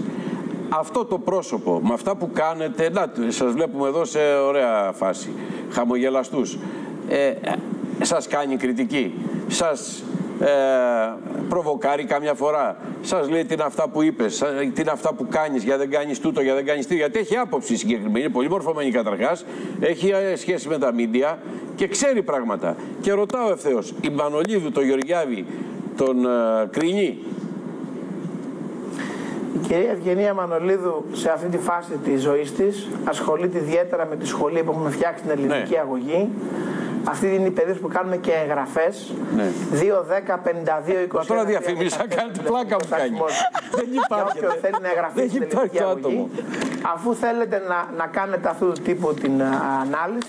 Όχι, μα λέω άλλο σας κάνει λοιπόν, κριτική στην πολιτική. Όποιος θέλει μπορεί να ρωτήσει την κυρία Μανολίδου για την ελληνική αγωγή. Κάνουμε μαθήματα αρχαίων ελληνικών και να πω το τέλος Σεπτεμβρίου. Ναι. Η ελληνική αγωγή έχει προσκαλέσει 12 παιδιά από το Βέλγιο. Ναι. Τα οποία πρότευσαν στον διαγωνισμό αρχαίων ελληνικών του Βελγίου. Το οποίο διοργάνωσε το Υπουργείο Παιδείας του Βελγίου. Ναι. Σας δίνω λοιπόν και μία είδηση. Το Υπουργείο Παιδείας του Βελγίου οργανώνει αγώνες αρχαίων ελληνικών και τα 12 παιδιά που πέρσι πρότευσαν έρχονται στην Ελλάδα. Αυτά είναι τα σημαντικά κύριε Χατζή ναι. και όχι να λέμε τώρα... Όχι, δεν έχει σημασία αν η γυναίκα κάποιου πολιτικού σαν και εσάς όχι, νομίζω, του κάνει, νομίζω, όχι τον ελέγχει, αλλά του κάνει κριτική. Του λέει δεν είναι σωστό ή λάθο αυτό. Νομίζω, νομίζω, νομίζω απήντησα. Ε, τα υπόλοιπα στη γραμματεία της ελληνικής αγωγής. Είναι ώστε να μάθουν στο μέγαρο κόσμο στα βελόπουλα. Μου δείτε χρόνο, θα διαφημίσω περισσότερο. Εγώ θα πάω να ρωτήσω. Εγώ θα μάθω. Εγώ θα μάθω, δεν τα αφήνω έτσι. Λοιπόν, σας έχω δεσμεύσει. Σα έκανε σίγουρα καλό. Είναι το μάθημα μόνο ένα δύο ώρο την εβδομάδα. Είναι ναι. φτιαγμένο για επαγγελματίες. Ναι. Μπορείς να πας ακόμα και δεν ξέρεις καθόλου αρχαία ελληνικά ναι. και πολύ γρήγορα να μπεις στο κλίμα και να καταλαβαίνεις λίγο αρχαία κείμενα. Δεν έχουμε άλλο χρόνο. Ε, έχουμε ε. μαθήματα ιστορίας, φιλοσοφίας. Λοιπόν, σας έχω δεσμεύσει ότι αφού έρθει το νομοσχέδιο στη ναι. Βουλή και θα έχουμε καταλάβει περί τίνος πρόκειται, να έρθετε εδώ να κάνουμε μια ε, πιο, ε, έτσι, πιο στοχευμένη συζήτηση για το κάθε ένα από αυτά που επιδιώκεται με αυτό το νέο νομοσχέδιο νομοσχέδιο. Καλή δύναμη σας ευχόμαστε και μακάρι, μακάρι να έχει επιτυχία για τον κόσμο. Ε, Ηρώ Καριοφίλη, πάμε. Ηρώ Καριοφίλη. Λοιπόν, για να περάσουμε και στα εξάρτητα. Καλημέρα, Ηρώ. Λοιπόν, ε, έχει γίνει πολλής λόγος τις τελευταίες ημέρες κυρίως για το θέμα του Vox στα, στα εξάρχεια. Ε; Βλέπουμε λοιπόν ε, και δημοσιεύματα ότι η αστυνομία έχει ζητήσει από τις εισαγγελικές αρχές να να δει αν διαπράττονται εγκλήματα και αν ναι. διαπράττονται η αστυνομία να μπει μέσα. Και υπάρχει και μια σαφής ανταπάντηση από την άλλη πλευρά για το τι θα γίνει. Διαπράττεται ένα, ε, μια παρανομία. Ναι. Αυτό είναι σαφές. Έχουν καταλάβει ξενοκτήριο. Αυτό όμως είναι ένα πλημέλημα. Να έρθει εγώ να σε συλλάβω για ένα πλημέλημα. Σε 24 ώρες θα στο σπίτι σου, στο παιδί σου και στον άντρα σου. Υπάρχουν όμως οι αστυνομικοί στη Γάδα που στο κάτω-κάτω αυτοί θα οργανώσουν την επιχείρηση, αν αποφασίσουν να μπουν, οι οποίοι κάνουν και δεύτερες και τρίτες ναι. σκέψεις. Και λένε τι θα κερδίσουμε αν μπούμε στο Vox και τι θα χάσουμε. Και πόσο εύκολο είναι. Ξέρουμε ότι το Vox είναι η πιο σκληροπυρηνική από τις ε, κα καταλήψεις που υπάρχουν. Διότι εκεί είναι η γνωστή ακτιβιστική ομάδα η οποία έχει απειλήσει κιόλας μέσω των social media. Λένε λοιπόν οι αστυνομικοί, αν μπούμε, εντάξει, θα συλλάβουμε κάποια άτομα, ενδεχομένως και κάποια ανήλικα. Πλημέλημα είναι, σε λίγες ώρες θα είναι σπίτι τους. Είναι γνωστό ότι ο Ρουβίκονας έχει όπλα, το έχει διαφημίσει και ο ίδιος, αλλά καταλαβαίνουμε όλοι ότι δεν, δεν είναι χαζί να έχουν τα όπλα μέσα στο Μέχρι τώρα όμως οι πράξεις τους δεν είναι κακουργήματα. Αυτό λέω, ναι. Ε, είναι πλημελήματα. Σε λίγες ώρες θα είναι στο σπίτι τους. Αντιθέτως, η σκέψη των αστυνομικών είναι ότι σίγουρα όπου υπάρχει δράση υπάρχει και αντίδραση. Δεν υπάρχει περίπτωση να μείνουν με σταυρωμένα χέρια, να μην αντιδράσουν. Και αυτή την αντίδραση είναι που οι αστυνομικοί, επαναλαμβάνω, φοβούνται. Και κάνουν συσκέψεις και βάζουν κάτω και κάνουν σενάρια και λένε πώς θα μπορούσαν να αντιδράσουν. Το πιο απλό να βγουν στον δρόμο στην Πατησίων και να αρχίσουν να σπάνε και να καίνε τα μαγαζιά των ανθρώπων, των καταστηματαρχών που με κόπο τα κρατάνε λόγω της κρίσης. Καταλήγουν σε ένα συμπέρασμα ότι είναι Ωραία. πιθανό να προκαλέσουν χάος. Οπότε τι κερδίζω, τι χάνω, είναι δυσανάλογο. Πρέπει να το κάνουμε ζυγαριά για να δούμε. ευχαριστούμε πολύ. Κλείδωσε, μεταδίδει το ιστοσελίδα newpost.gr πριν από ένα δευτερόλεπτο. Κλείδωσε το πρώτο τετατέτ Μητσοτάκη Ζάεφ στη Νέα Υόρκη. Θα δει και τον Έντι Ράμα κλείδωσε αυτό το τετατέτ, έχει κλειδώσει έχει πολύ ενδιαφέρον το πάρα πολύ μεγάλο ενδιαφέρον πάρα πολύ και έχει κλειδώσει το θέμα με τον ε, Τραμπ και με τον Ερντογάν βεβαίως. Θα δούμε βέβαια είναι στα περιθώρια αυτής της Γενικής Συνέλευσης των Ηνωμένων Οι πρώτες συναντήσεις και τα μηνύματα που Και θα έχουν μια ιδιαίτερη σημασία. Η κυρία Γεροβασίλη είναι δίπλα μας. Καλώς ήρθατε. Πρώην Υπουργός, καλημέρα κυρία Γεροβασίλη και Υπουργός και Αστυνομίας. Και αστυνομικός. Και πυροσβεστικής. Αφού το θέτετε με τα ναι. σώματα. Λοιπόν, ε, τώρα λέγαμε το ρεπορτάζ για το Vox και τα λοιπά. Και ε, υπάρχει μια κινητικότητα του πλευρά του Υπουργείου, του συγκεκριμένου Υπουργείου, στο οποίο υπηρετήσατε τελευταία, δηλαδή πριν από τις εκλογές, για να καθαρίσει τα εξάρχεια όπως έχει εξαγγείλει ο ίδιος ο κ. Μητσοτάκης και βεβαίως υλοποιεί ο κ. Χρυσοκοίδη. Θα ήθελα τη δική σας άποψη για την εικόνα που έχετε και αν πράγματι είμαστε προς σωστή κατεύθυνση. Ε, κοιτάξτε, δεν θα αποφύγω βεβαίως. Ξέρετε, πρόλαβα να παρακολουθήσω λίγο την προηγούμενη σας σύνδεση. Ναι. Και είδα τον Υπουργό, τον κύριο Γεωργιάδη, ε, όταν μπήκα στο στούντιο, να δίνει το τηλέφωνο της επιχείρησης της συζύγου του. Όχι, δικιά του η επιχείρηση. Ε, εντάξει. Ναι. ναι. Αντιλαμβάνεται, έχει ασυμβίβαστο, δεν μπορεί να έχει Α, επιχείρηση ε, ως υπουργός. Θα πρέπει να μην έχει. Α, είναι της συζύγου. Τέλος πάντων, τώρα έδωσε. συζύγου, εν πάση περιπτώσει. Το είπα και εγώ, όπως είδατε. Ξέρετε, αλλά είναι χυμαρόδης, δεν είναι. Ε, το σχολιάζω, διότι ξέρετε τι κρύβεται πίσω από αυτό. Μια φοβερή αλαζονία και είμαι στο απειρόβλητο. αυτό είναι θέμα στην πολιτική ζωή. Δεν νομίζω να είδατε να είναι στο απειρόβλητο πάντως. Ε, δεν το απαντώ. Δεν λέω για εσά, κύριε Χατζή, και ναι. τις τάσεις σας. Λέω πώς αισθάνεται ο ίδιος. Πώς αισθάνεται, λίγο μου πέφτει. Έτσι. Ναι. Λοιπόν, δεν μπορώ να το σχολιάσω. Πάμε στα εξάρχεια. Λοιπόν, να πάμε στα εξάρχεια. Όταν θες να κάνεις επιχειρήσεις για να αντιμετωπίσεις παραβατικότητα, εγκληματικότητα, ε, ε ναρκωτικά, παραεμπόριο ε, και οποιοδήποτε άλλη μορφή παραβατικότητας, πρώτον, δεν του διαφημίζεις. Δεύτερον, όταν επιχειρείς δεν πας με τις κάμερες. Ε, αλλά σιωπηρά, μεθοδικά, σχεδιάζεις αυτό το οποίο θες να αντιμετωπίσεις και έχεις πάντα στο μυαλό σου τη σχέση κόστους-κέρδους. Δηλαδή, γιατί λέμε εγώ δεν υποστήριξα ποτέ επιχείρηση σκούπα.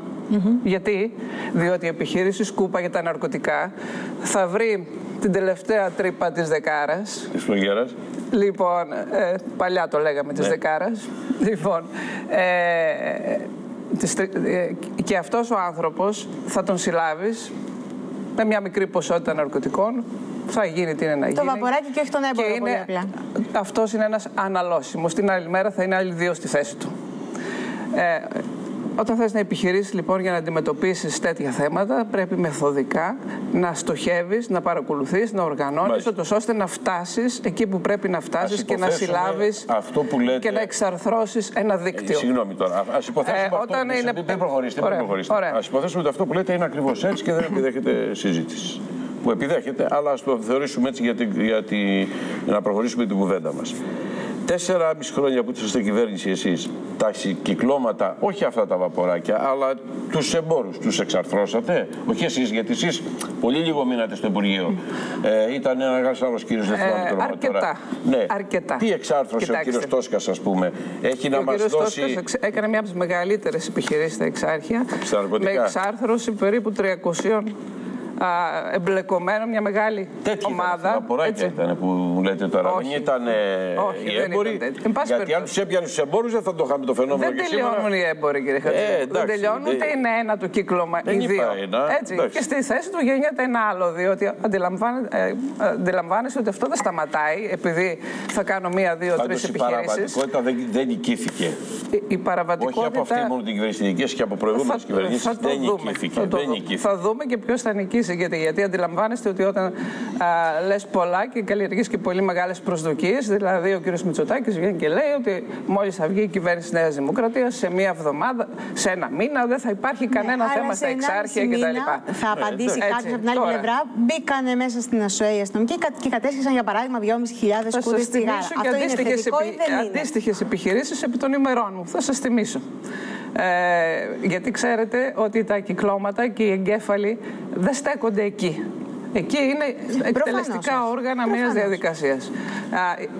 Ούτε ζουν στα εξάρχεια, ούτε, ούτε στην ΟΣΟΕ. Mm -hmm. έτσι, επομένως θα πρέπει να σοβαρευτεί κάποιος και να αντιμετωπίσει πραγματικά όπως πρέπει να αντιμετωπίσει την κατάσταση και αθόρυβα, μεθοδικά να κάνει τη δουλειά του.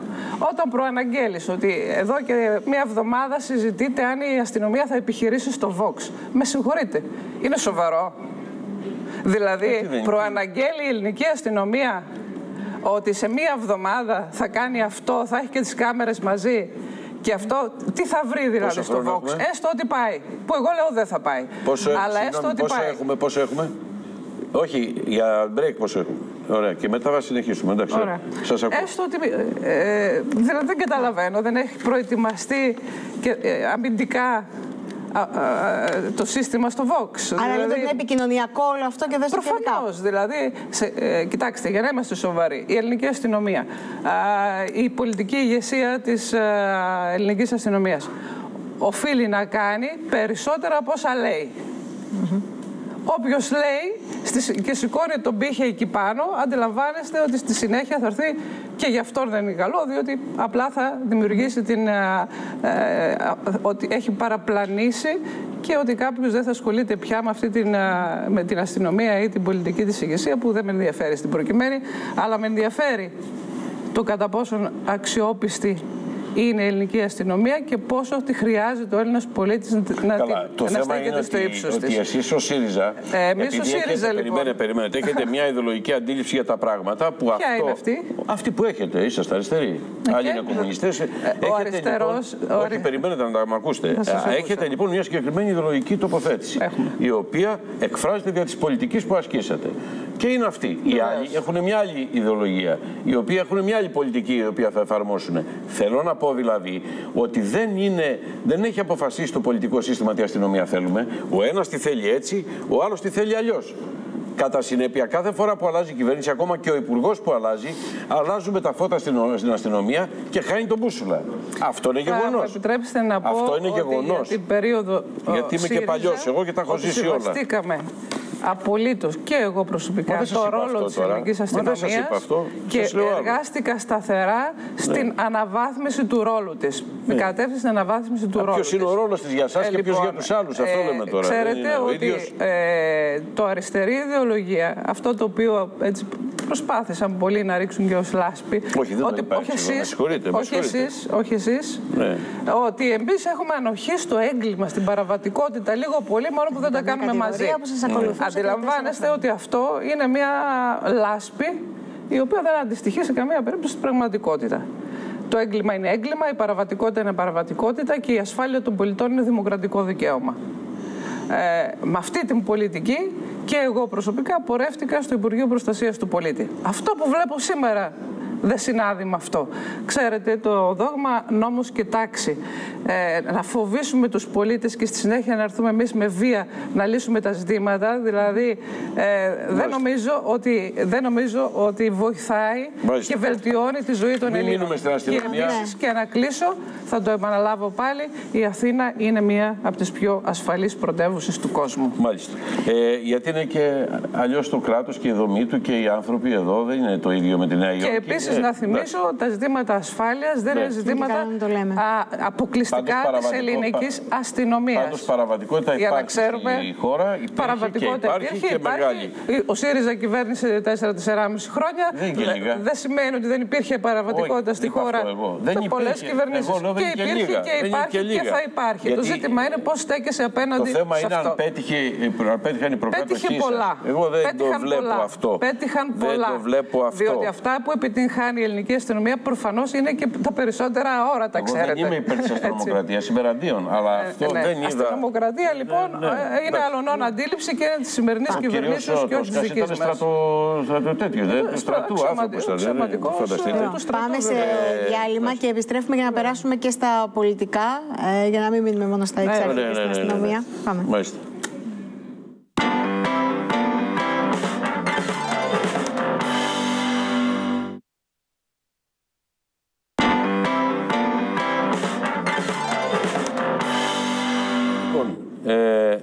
Ερωτήσει έχω. Η μία αφορά το ΣΥΡΙΖΑ. Πού το πάτε; Πού το πάτε; Ακούω διάφορα, ε, βλέπω ότι αλλάζετε κάποιες κατευθύνσεις, αλλάζετε το concept κάποιων διαδικασιών.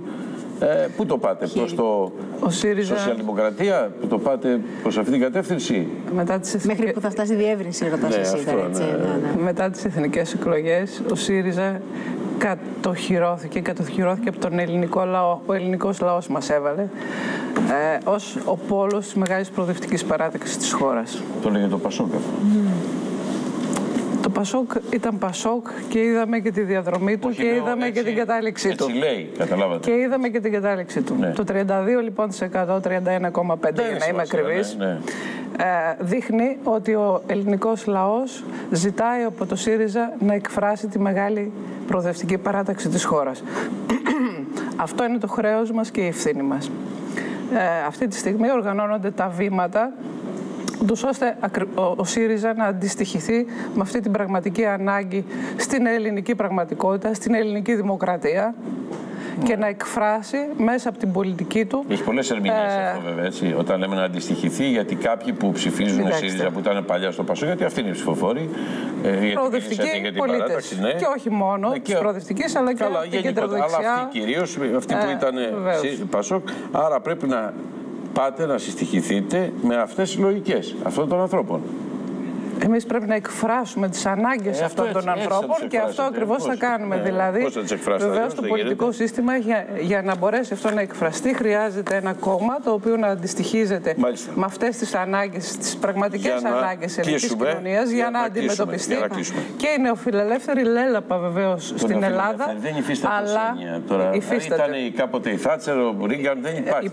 Οι πολιτικές είναι αυτές που βάζουν τους τίτλους, ξέρετε. Δεν μπαίνει ο τίτλος και μετά βγάζουν με τον τίτλο Αλλά οι πολιτικές μένουν. Το λέγατε και προεκλογικά, δεν Οι πολιτικές που ακολουθεί κάποιος χαρακτηρίζουν και το, το τι ακριβώς εκφράζει. Σε αυτό, σε αυτό ως έννοια θα συμφωνήσω. Θεωρητικά. Ναι. Εδώ λοιπόν είδαμε τι εκφράζεται. Εγώ παρακολούθησα τον κύριο Μητσοτάκη στη ΔΕΘ. Ναι. Ε, παλιά στο ΣΥΡΙΖΑ λέγαμε, ναι. το λέμε δηλαδή, ότι πάει να εκφράσει τις ανάγκες των λίγων. Εγώ θα σας πω κάτι πιο σαφές. Ε, από την ΔΕΘ ακούσαμε πολιτικές οι οποίες εξυπηρετούν τις ανάγκες συγκεκριμένων. Μάλιστα. Αυτό αυτή ακούσαμε είναι η δική σας Αυτή είναι η δική μου ερμηνεία. Ε, αυτή είναι η δική σας. Τώρα, επειδή ξέρω ότι σας αρέσει η μουσική, και παρακολουθούνται. Εγώ θα σας δείξω δύο φωτογραφίες που έχω κλέψει. Έλα, για δείξε. Με το Διονύση Σαββόπουλο, ο οποίος σας αρέσει πάρα πολύ, και την Ελεονόρα Ζουγανέλη. Είστε της μουσικής είστε της μουσικής. Και θα το συνδέσω τώρα με ένα βίντεο που έχω, που σας ευχαριστήσω για τι αποδεσμεύσει. Ωραία, είναι εκεί. Εξαιρετικά είναι. Είναι παλιότερες φωτογραφίες, βέβαια. Με άλλο χτένισμα και τα ρέστα. Ο Γιονίση Σαββόπουλος βεβαίως έχει εκφράσει μια ολόκληρη εποχή και μια ολόκληρη γενιά. Όπως είπε το Μια δεύτερη, η Ελεονόρα Ζουγονέλη είναι από τις πιο αξιόλογες να είμαστε και με τους νέους. καλλιτέχνηδες και βεβαίως είναι φίλοι μου. Ωραία. Λοιπόν, τώρα εγώ θα σας δείξω έναν καυγά που είχε ο Γιάννης Πάριος με ένα δήμαρχο σε μια συναυλία. Ο Γιάννη Πάριος τον ξέρω και τον αγαπάμε όλοι, αλλά είχε ένα καυγά. Θέλω να δούμε αυτό το βίντεο παρακαλώ και ευχαριστώ την κυρία Γεροβασίλη. Και εγώ σας ευχαριστώ. Γιατί κόβεις το ρεύμα Εγώ δεν έκοψα κανένα ρεύμα, άσε τις εξυπνάτες. Άσε τις εξυπνάτες. Κανένα ρεύμα δεν έκοψα εγώ. Άμα είχα κόψει το ρεύμα θα είχαν κοπεί και τα πάνω. Δεν τα ξέρω. Έμα. Εγώ δεν είμαι θυμάτων. Ναι, τώρα μπροστά στον κόσμο όμως να λες τέτοια εξυπνάδα δεν κάνει. Ότι ο Δήμαρχος έκοψε το ρεύμα. Ναι, δεν το έκοψε το ρεύμα. Ναι, ναι. Δεν έκανε Λοιπόν, η άλλη πήγε με το κινητό να βγάλει σέλφι με τον Πάριο. Αυτά δεν γίνονται. Δεν κάνονται στι στιγμέ. Όλα αυτά είναι μια βροχή. Και έβρεχε, υποβροχή. Άμα, άμα η βροχή ναι, σου ναι, κάσει ναι, στη συναυλία, αυτά γίνονται. Λοιπόν, να δούμε γιατί πάμε βροχή. Ποιο καιρό, θα πάμε πρώτα κάτσε τον καιρό, μετά τον καιρό. Θα πάμε τώρα στην Κάτια την Νιάκαρη. Α, τα βιβλιοπολία. τα βιβλιοπολία. Χθες δεν λέγαμε ότι γυρίσαν τα παιδάκια. Πού θα πάμε, καλός σηκώθηκα ή κακός. Να, την Κάτια. Είναι σε ένα βιβλιοπολείο, διότι οι μανούλες χθες είχαν δύο σελίδες πράγματα που πρέπει να αγοράσουν για να πάνε τα καμάρια τους στο, στο σχολείο. Εκεί λοιπόν είναι και η Κάτια. Για να δούμε. Καλημέρα. Άνοιξαν τα σχολεία λοιπόν και όλες οι μανούλες, όπως είπατε κι εσείς, με τη λίστα στα χέρια σπέβδουν στα βιβλιοπολία προκειμένου να αγοράσουν όσα πράγματα χρειάζεται για τη νέα σχολική ε, χρονιά. Εδώ λοιπόν συναντήσαμε πάρα πολλές ε, μανούλες που με τη λίστα στα χέρια ψωνίζουν. Εδώ δίπλα μου έχω ακόμη μία μανούλα η οποία έχει βάλει πολλά πράγματα όπως μπορείτε να δείτε κι εσείς μέσα στο καλάθι, έχει πάρει τη τσάντα και ό,τι χρειάζεται, τα οποία θα μας τα πει και η ίδια βέβαια. Τι έχετε ψωνίσει; Έχουμε ψωνίσει τα απαραίτητα για το σχολείο τα οποία όπως βλέπετε είναι δύο καλαθάκια. Τι έχετε βάλει μέσα στο καλάθι, τι είναι αυτά τα οποία σας έχουν ζητήσει; Έχουμε βάλει φακέλους, τετράδια. Μπορούμε και να τα βλέπουμε παράλληλα. Τους φακέλους μας, τα ντοσιέ μας, έναν άτλαντα, τα αγγλικά βιβλία για το φροντιστήριο, ένα βοήθημα για το παιδί. Σε ποια τάξη πάει το παιδί, Μαρκαδόρη. Το παιδί σας τι τάξη πάει; Τετάρτη δημοτικού. Τετάρτη. Κοριτσάκι, αγοράκι; Κοριτσάκι. Έχουμε Είναι κοριτσάκι. το... Αυτά λοιπόν όλα τα οποία έχετε βάλει. πάει στο ταμείο. Αυτό. Αυτά τα οποία λοιπόν έχετε ψωνίσει. Βρισκόμαστε εδώ στο ταμείο. Δεν ξέρω αν έχουμε χρόνο να δούμε τώρα πόσο κοστίζουν ή να πούμε προσεγγιστικά ας πούμε πόσο χρειάζεται να ξοδέψει η μητέρα. Μπορούμε λίγο να δούμε πόσο κοστίζουν όλα αυτά τώρα. Εδώ είναι το όνομά σας. Χριστίνα. Εδώ θα μας βοηθήσει η Χριστίνα να μας πει τι ακριβώς ε, θα κάνουμε το εξής. Θα, κάνουμε λογαριασμό. Περίμενε, περίμενε, περίμενε. τα μετράτε εδώ. Θα περίμενε. Θα κάνουν λογαριασμό αυτοί εκεί. Θα πάμε εμείς να δείξουμε τον καιρό. Να χτυπήσουμε στη μηχανή τα πράγματα για να γυρίσουμε να μα πούμε πόσο κάναν αυτά που είδαμε. Ελάτε, κυρία. Παναγιώτας Πιλιοτοπούλη είναι εδώ. Ελάτε, Παναγιώτα. Καλημέρα, λοιπόν, Παναγιώτα. Για πάμε να δούμε, διότι έρχονται άνεμοι, ισχυρότατοι. Ισχυροί άνεμοι ενισχύονται από σήμερα ε, και κυρίως από αύριο αλλά και το Σαββατοκύριακο οι βορειάδε στο Αιγαίο που θα φτάνουν και τα 8 με 9 μποφόρ τοπικά. Ε, αυτό θα είναι το κύριο χαρακτηριστικό. Σήμερα θα έχουμε κάποιες τοπικές βροχές και πρόσκαιρες καταιγίδες σε Ιόνιο, δυτικά υπηρετικά, ε, στα ορεινά της Θεσσαλίας και τη Μακεδονία. Στην υπόλοιπη χώρα, λίγη συννεφιά κατά περιόδους αυξημένη.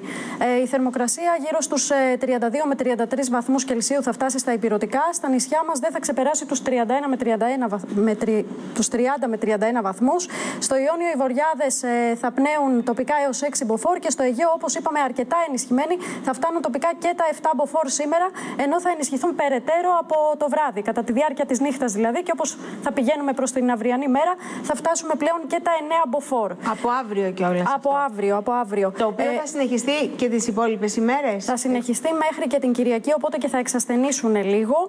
Μέχρι τότε όμως θα πνέουν και τα 9 μποφόρ τοπικά, θα είναι πολύ ισχυροί. Στην Αττική σήμερα θα έχουμε λιακάδα με λίγη συννεφιά το μεσημέρι απόγευμα θερμοκρατία θερμοκρασία έως 31 βαθμούς Κελσίου και στη Θεσσαλονίκη από το μεσημέρι και μετά θα έχουμε τοπικές μπόρες και υπάρχει περίπτωση και για πρόσκαιρη καταιγίδα, θερμοκρασία έως 29 βαθμούς.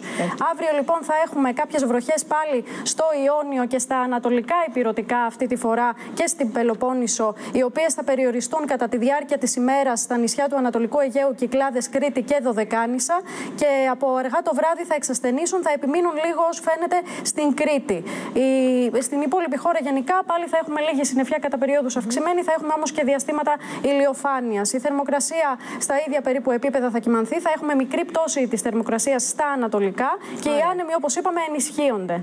Σε ευχαριστούμε πολύ, Παναγιώτα. Λοιπόν, έγινε ο λογαριασμός. Πάμε να δούμε. Πάμε να δούμε. Έγινε ο λογαριασμός. Έλα. Ε, έγινε ο λογαριασμός και το, το ποσό το οποίο πρέπει να πληρώσει είναι 112 και 45 λεπτά.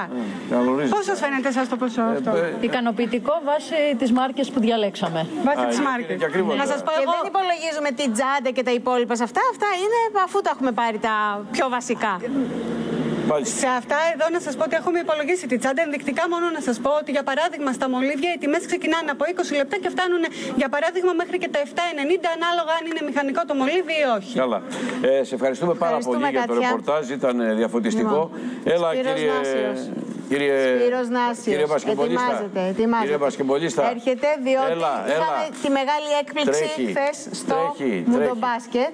Έλα, όπα, όπα, όπα, όπα, εκεί είσαι. Εδώ είμαι. Πήγα το σταυρό, Μέσα στο σημάδι μου. μπροστά σου. Μέσα στο σημάδι μου. Έλα, Για για την λέγε. ετοιμασία, τίποτα σήμερα. Εντάξει, Ωραίος. καλά, σήμερα είσαι εντάξει. δεν Γαμπρός. συζητάμε. Λοιπόν, Για ε, φόβα σε βλέπω, ναι. Που κάμισο πικέ τύπου βαρουφάκι και πάμε. Έλα, για λέγε. Λοιπόν, μεγάλη έκπληξη του Μουντομπάσκετ. Έγινε χθες. Ναι, οι Ηνωμένες Πολιτείες, η λεγόμενη Dream Team, ε, έμεινε εκτός διοργάνωσης από τα προημιτελικά. Νίκησαν οι Γάλλοι με 89-79. Αυτά να τα βλέπουν 10 πόντους. 10 πόντους, μάλιστα. Οι Γάλλοι είναι μια πάρα πολύ καλή ομάδα. Λίγο αλλοπρόσαλη σε άλλα παιχνίδια παίζει καλά, σε άλλα όχι. Όμως χθε ήταν πάρα πολύ καλή. Έπαιξε εκεί που έπρεπε. Καλά. Ακριβώ. Έπαιξε εκεί που έπρεξε, ε, έπρεπε, νίκησε τις Ηνωμένες Πολιτείες με 10 πόντους και έτσι προκρίθηκε αυτή στα ημιτελικά. Αυτά να τα βλέπουν κάποιοι, σαν την ομάδα μας, που δεν παλέψαμε καθόλου το παιχνίδι με τις Ηνωμένες Πολιτείες. Που πήγε στην Αυτό είναι να παράταση. σου Νίκησε τύχει, στην να παράταση. τύχει στην καλή μέρα τώρα, δεν είναι; Ε, σίγουρα, αλλά μήπως δεν το πίστευαν και οι παίχτε μας. Γιατί οι Ηνωμένες Πολιτείες πήγαν ε, στην παράταση με τους Τούρκους, νίκησαν στην παράταση, δυσκολεύτηκαν με τους Τσέχους και φυσικά αποκλείστηκαν και από Οι τους Γάλλους. παίχτε της Γαλλίας παίζουν NBA και τέτοια. Ναι, έχει πολλούς παίκτες η Γαλλία που παίζουν στο NBA. Μάλιστα, ο ένας, ο Γκομπέρ, είναι και ο καλύτερος αμυντικός του NBA για τη φετινή χρονιά. Επίσης, να πούμε ότι ρωτήθηκε ο Πόποβιτς από Έλληνα, μάλιστα δημοσιογράφου, αν φταίει ο αποκλεισμός. Ο αποκλεισμός ήρθε από την απουσία των μεγάλων ονομάτων του NBA. Ο Γκρέκ Πόποβιτ είναι ένας αναγνωρισμένος προπονητή στο NBA. Είπε ότι αυτό είναι ασέβεια, που λέτε τώρα, με αυτή την ερώτηση, γιατί η Γαλλία έπαιξε φυσικά καλύτερα από εμάς και δίκαια προκρίθηκε στην επόμενη φάση. Πάντως προανήγγειλε ότι στην επόμενη διοργάνωση, στη μεγάλη διοργάνωση του Ολυμπιακούς Αγώνες στο Τόκιο, η Αμερική θα παρουσιαστεί με όλα τη αστέρια. ε, οπότε, γεια και σας. οπότε πάνε για χρυσό Ολυμπιακό μετά. Πάνε κατευθείαν να το Καλά πάρουν, ήταν ε. που κάποτε απαγορευόταν να Ε, παίξουν. Έχουμε το Τσιτσιπά όμως, το... Ναι, να, να πούμε τα ζευγάρια των, ε, της τετράδας. Είναι Γαλλία, Αργεντινή και Αυστραλία, Ισπανία. Οδεύουν Η ολοταχώς. Ισπανία έχει καλή ομάδα, έτσι. Πολύ καλή ομάδα, Πολύ καλή. φυσικά. Η Ισπανία Και είναι μην πάρα ξεχνάμε πολύ. ότι στη Σαϊτάμα, όταν είχαμε νικήσει τους Αμερικάνους, Ναι. να πούμε και αυτό ότι οι Αμερικάνοι είχαν 58-0 σερή από τότε και χάσανε το παιχνίδι με τους Γάλλους. Όταν είχαμε νικήσει τους Αμερικάνους στη Ναι. Σαϊτάμα, μας νίκησαν με 20-25 πόντους στον τελικό. Είναι μια πάρα πολύ καλή Ωραία. ομάδα. Έχουμε το Σέφανο Τσιπά εδώ, στο Τατόι διεξάγεται το Davis Cup. Αντιμετωπίζουμε σήμερα την Πολωνία για τη δεύτερη αγωνιστική του συγκεκριμένου τουρνουά. Στην πρώτη νικήσαμε 3-0 το Λουξεμβούργο. Μάλιστα ο Στέφανος έκανε περίπατο απέναντι σε έναν ε, Λουξεμβούργιο τον Ντίντεριχ. 6-1-6-0 σε 48 λεπτά καθάρισε το παιχνίδι. Από τότε που, ε, που το τέννη και γίνανε Έχει και όλοι και τις καρδιές ταινίστε. μας. Με, ναι, ναι, με τον Τζιπά. Ο Τζιπάς είχε έρθει καθόλου στην Ελλάδα, είχε καταλάβει. τι Όχι, δεν γίνεται είχε εδώ. έρθει. Για να παίξει, όχι. Είχε έρθει σίγουρα για κάποιες διακοπές ή για να δει την οικογένειά του κτλ. Τώρα, βέβαια, είναι και μόνιμος κάτοικος του Μοντεκάρλο, έτσι. Δεν μένει στην Ελλάδα. Εντάξει, έχει Είναι- θέμα φορολογικό αυτό. Έτσι. Σήμερα λοιπόν αντιμετωπίζουμε την Πολωνία. Είναι πολύ δύσκολο το συγκεκριμένο το σημερινό παιχνίδι γιατί αντιμετωπίζει το νούμερο 36 του κόσμου και μάλιστα στο τελευταίο παιχνίδι για να μεταξύ τους είχε χάσει ο Στέφανος. Α ελπίσουμε ότι σήμερα θα καταφέρει να νικήσει για να ανεβούμε και στην υψηλότερη βαθμολογία. στο Βαθμολογία, Davis Cup. σαν χώρα. Αυτό θέλουμε. Σε ευχαριστούμε ευχαριστούμε πάρα πολύ, πολύ. Σπύρο. Λοιπόν, κλείνοντας, να σας υπενθυμίσουμε τους τρόπους με τους οποίους επικοινωνείτε μαζί μας.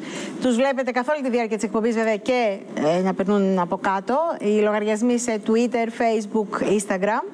Ε, και βεβαίως περιμένουμε τη συνέχεια της επικοινωνίας με Ωραία. εσάς. Στο σημείο αυτό ολοκληρώθηκε η σημερινή μας εκπομπή. Μια παράληψη που έχουμε κάνει να την πούμε ότι δεν προλάβαμε ας πούμε, τις εξωτερικές ειδήσεις λόγω πληθώρας ύλης.